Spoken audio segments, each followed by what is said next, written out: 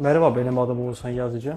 Ameliyat önceki süremden bahsetmek istedim biraz. Sırt ağrıları, bel ağrıları, halsizlik, üstünde kıyafet alamama vesaire ameliyatı yapmama karar verdim. Ameliyatın sürecinde pek ağrı falan hissetmedim. Geceleri e, tansiyon kontrolü yapıldı, test edildi, şekerime bakıldı.